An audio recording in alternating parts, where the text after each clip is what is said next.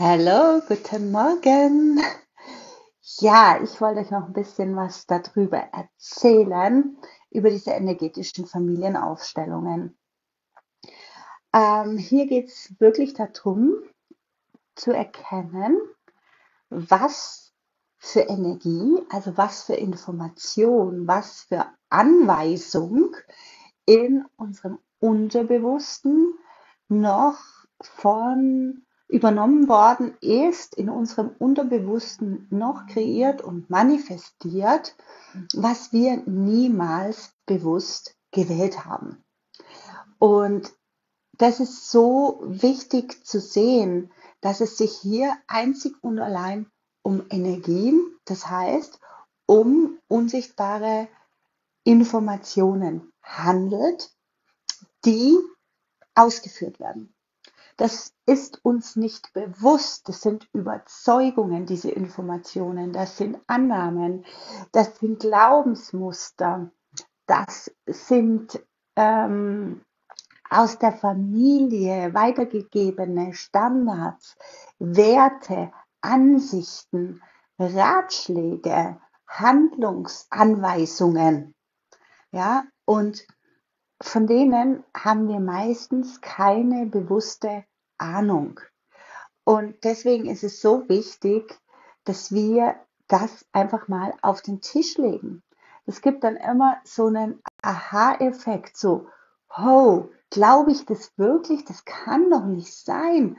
Und wenn du dann siehst, dass deine Mutter, dass deine Eltern, dass deine Großeltern, Urgroßeltern genau nach den gleichen Überzeugungen gelebt haben, genau nach den gleichen Werten gelebt haben, dann wird es dir sonnen, sonnen klar, woher der Antreiber kommt, warum du handelst, wie du handelst, warum du die Entscheidungen triffst, wie du sie triffst, warum du keine anderen Entscheidungen treffen kannst, obwohl es so notwendig wäre, anders zu entscheiden, anders zu handeln dich auf andere Dinge einzulassen, damit du das bekommst, was du willst.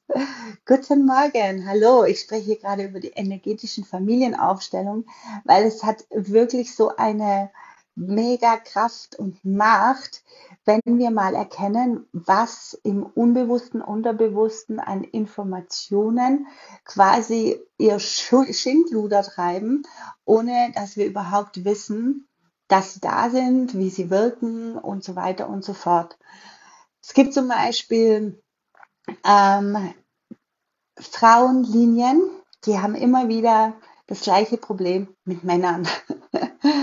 und was könnte das sein? Das kann zum Beispiel sein, dass es eine starke Frau gibt, dass es eine Linie von starken Frauen gibt, dass deine Mutter eine starke Frau war, dass deine Urgroßmutter eine starke Frau war, gerade aus dem Krieg heraus viel erlebt haben, alles alleine machen mussten, immer auf sich selber gestellt waren und natürlich Werte, Ansichten, Normen an ihre Töchter weitergegeben haben, wie zum Beispiel Du musst alles selber machen, du kannst dich auf niemanden verlassen. Wenn du dich auf jemanden verlässt, dann bist du verlassen.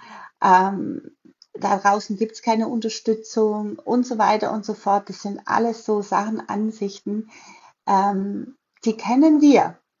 Und wenn die als wahr gehalten werden, wenn die tiefst, tiefst wahr empfunden werden, und zwar nicht im Kopf, nicht in der Logik, sondern in der unterbewussten Wahrheit, dann wird es nie sein, dass du dich auf jemanden einlässt, dass du dich von jemandem unterstützen lässt. Du wirst immer wieder deine Wahrheit produzieren. Und gleichzeitig wünschst du dir vielleicht doch einen Partner, der hinter dir steht, der für dich da ist, ähm, der bedingungslos äh, dich unterstützt. Aber gleichzeitig hast du eben so solche Annahmen, solche Überzeugungen und dann wirst du bei keiner Möglichkeit in unserem energetischen Universum dahin kommen können, in so einer Partnerschaft zu leben, mit so einem Menschen zu leben, so etwas überhaupt anzunehmen, dass man unterstützt wird, dass man nicht mehr alles alleine machen muss, dass man jemanden an seiner Seite hat.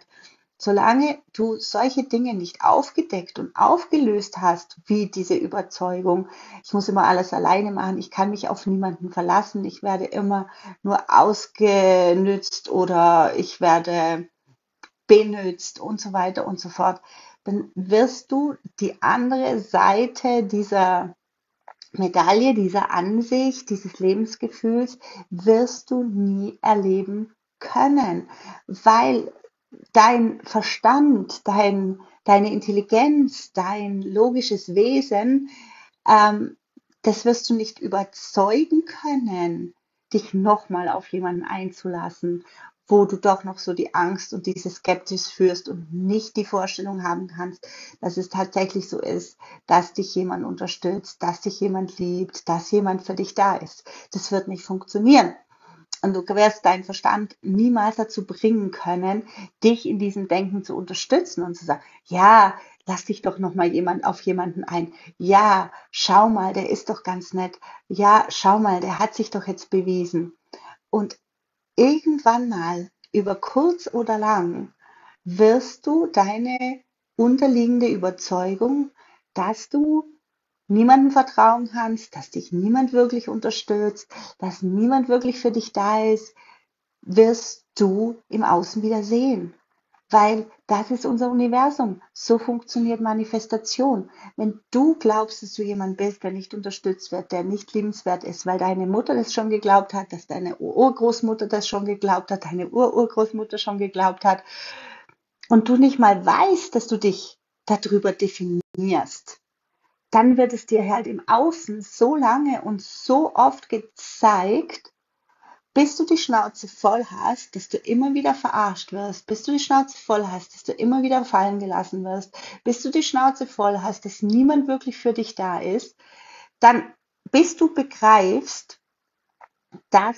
es nicht die Wahrheit per se ist, sondern einfach deine Wahrheit, die du ungesehen übernommen hast über Generationen und Generationen hinweg.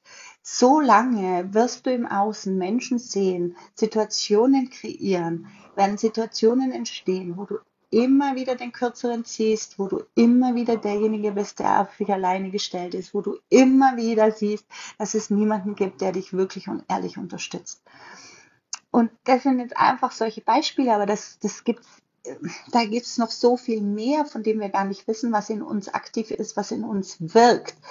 Und in dem Moment, wo wir diese energetische Familienausstellung machen und diese ganze Sache auf dem Tisch skizziert ist, wo das Ganze herkommt, weil dieses Verständnis da ist für unseren logischen, analytischen Verstand, wir das beobachten können, in dem Moment, schon allein in dem Moment transformiert das und zwar nicht nur für dich, sondern eben für deine ganze Ahnenlinie vorwärts und rückwärts.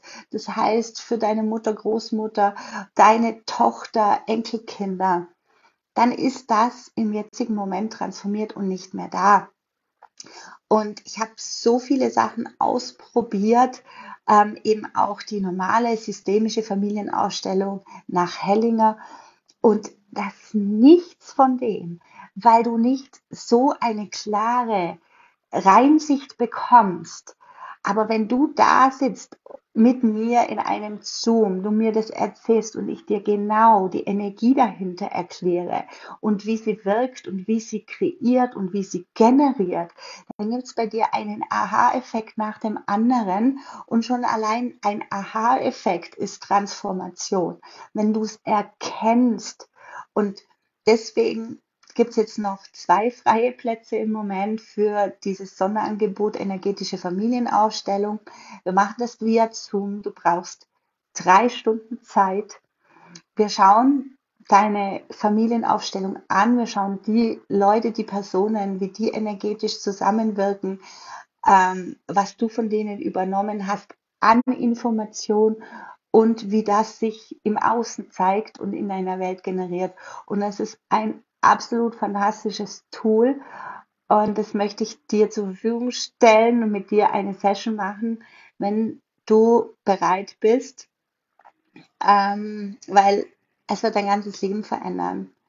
Und ich kann nur sagen, aus meiner eigenen Geschichte war das so tief in mir, diese Sache immer wieder verlassen zu werden, fallen gelassen zu werden, nicht unterstützt zu werden, am Schluss alleine dazustehen.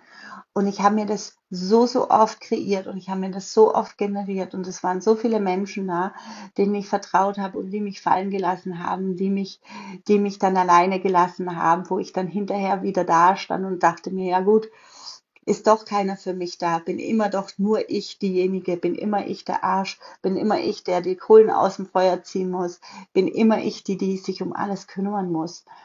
Und erst als ich das erkannt habe und transformiert habe, mir ein neues Selbstbild, ein neues Selbstkonzept zugelegt habe, habe ich genau diese Leute anziehen können in meinem Leben, die 100% hinter mir stehen, die da sind und wo ich auch ein gutes Gefühl habe, wo ich mich wohlfühle, wo ich mich nicht ausgeliefert fühle, wo ich mich nicht schlecht fühle, sondern wo die ein Teil von mir sind.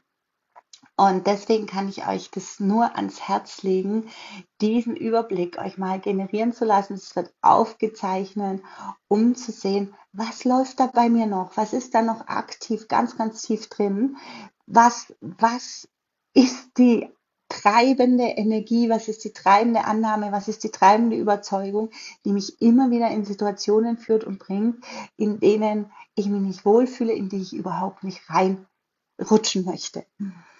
Und wenn du es für dich machst, machst du es gleichzeitig für deine Liebsten, wie gesagt, für deine Kinder, für deine Enkelkinder, aber gleichzeitig auch für deine Eltern oder deine ganze Familie im Umfeld, weil wenn du dich veränderst, verändert sich alles in deinem Leben, alles, was zu deinem Leben gehört. Also es ist auf jeden Fall den Aufwand wert, es ist den Zeitaufwand wert, es ist es wäre, dass du dich ähm, hingibst, dass du hinschaust, damit diese Dinge transformieren und du endlich die Wünsche bekommst und manifestieren kannst, die du wirklich hast. Also es ist Zeit. Wir leben alle nicht unendlich. Wir haben eigentlich auf nichts zu warten. Wir wissen nicht, wie lange diese Reise hier auf diesem Erdboden ist. Und ich bin mir ganz sicher, dass wir dafür hier sind, um das Geilste, das Beste, das Schönste, das Leichteste, das geliebteste, das liebendste Leben auf Gottes Erdboden für uns zu generieren und kreieren. Also in diesem Sinne, schreib mir, wenn du dich interessierst. Es gibt im Moment gibt's zwei Plätze, weil für mich ist das auch kein so, ja, ja, das mache ich mal schnell, sondern ich gehe mit dir wirklich ganz, ganz tief und ähm, deswegen mache ich da nicht Fließbandarbeit. Und deswegen solltest du dir vielleicht überlegen, ob du dieses tolle Angebot annimmst.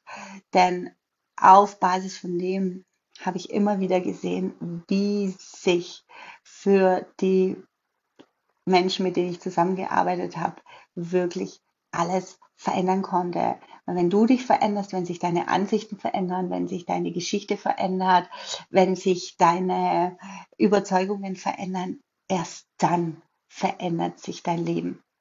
Alles Liebe und bis dann.